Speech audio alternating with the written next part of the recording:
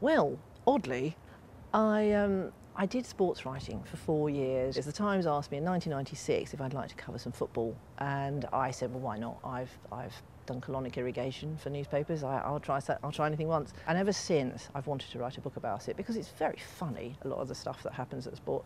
I learned loads of facts. I learned loads and loads of facts about the sport, which is, of course, the main thing you have to do.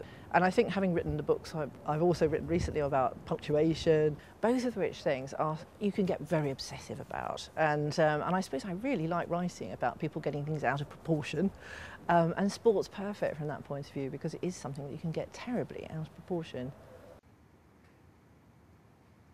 The thing is, to me, everything was new, and that's, I think, really nice thing when you're a writer, is to come at things fresh. Yes, I was, um, Sheffield Wednesday, they used to chant, you'll never beat Des Walker, um, which I thought, I thought they were saying, you'll never meet Des Walker. And I thought, well, that's true, that's very profound, actually. I will never meet Des Walker. But it turned out it wasn't that. and in fact, when I went to, um, I went to New York to see a fight, the Lennox Lewis Evander Holyfield fight, which is, starts the book, and before I went, I thought I'd better mug up a bit on boxing, and I read some books on boxing, and I watched When We Were Kings, the great film about Ali Foreman in Zaire in 1974. And I'm the only person, I think, who's ever watched that film who didn't know how the fight turned out. And um, it's really exciting. It's terribly exciting if you really don't know that, that uh, Ali's going to win.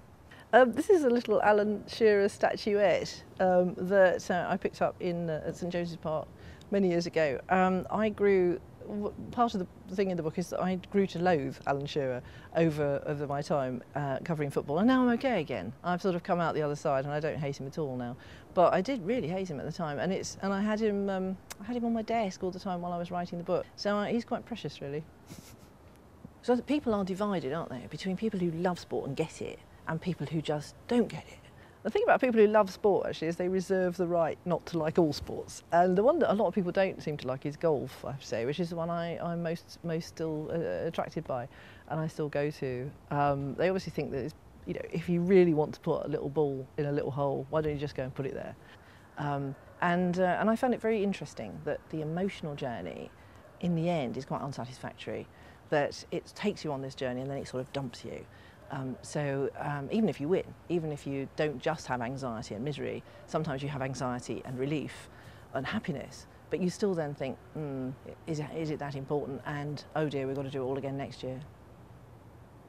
Well, in a way, the book is like the columns I did um, in the Times, in that um, they were designed to be read by people who didn't know about sport, um, they were accessible, and by people who do know about sport because they understand what the joke is. So it's an account really of what it was like to be a sports writer, what I thought about while I was being a sports writer, what it felt like, what amused me on the job. And it's part memoir, part analysis, and um, to be honest, it's part almighty whinge about how tough it was. So I've dedicated the book to um, the two editors at the Times who sent me to football in the first place. So it says, to David Chappell and Keith Blackmore, who sent me to football, you bastards.